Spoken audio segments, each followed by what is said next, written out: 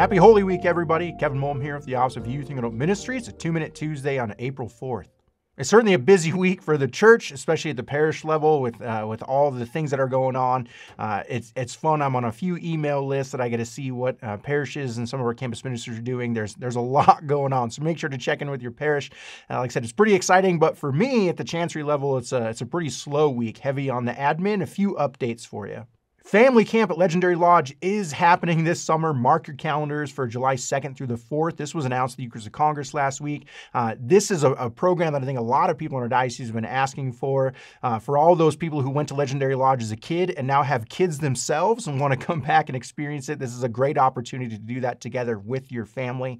What that'll look like is arriving on Sunday, July 2nd. We'll have Mass and programming, and then we'll have programming for the different ages all day Monday, and then leaving on that Tuesday, July 4th, early so everyone get home and celebrate the holiday.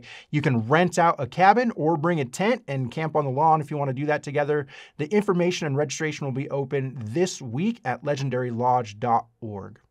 Other things I'm working on and all things I've announced already. The NCYC for 2023, we will be in Indianapolis November 16th and 18th, and I invite you and uh, your high school youth groups to join us. Information at diocesehelena.org slash NCYC. I'm also working on the National Eucharistic Congress, which will also be in Indianapolis in the summer of 2024. Information will be posted on the website, and I'll be getting information out to, to folks about that soon. Then I'm starting to turn towards our summer ministry programming. Justice Outreach Project is scheduled June 25th through the 30th.